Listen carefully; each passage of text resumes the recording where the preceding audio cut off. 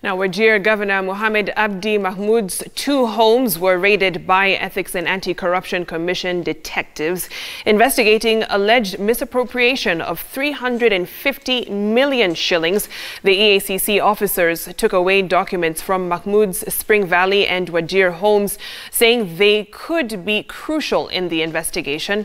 Also ransacked by the detectives were the homes of the Kenya Commercial Bank Wajir branch manager Said Ibrahim Ahmed Ahmed in Wajir and the Wajir County Head of Treasury Jeff Moria in Nairobi's Lower Kabete. Now, during the raid at Moria's home, detectives arrested the wife Sonia Moria for allegedly destroying crucial documents in their Lower Kabete home linked to alleged embezzlement of funds. EACC officers also recovered company ownership documents property ownership documents and financial statements from the governor's Spring Valley home in Nairobi, which they say is crucial in the investigation into the alleged misappropriation of funds. However, Governor Mohamed, speaking to Citizen TV this evening, claims that no documents were carried away by the detectives.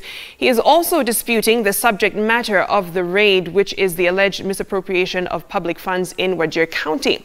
Now, confirming the raid, EACC Deputy Chief Executive Officer Michael Mubea said areas being investigated include irregular procurement, especially in roads contracts and consultancy, as well as misappropriation of imprest.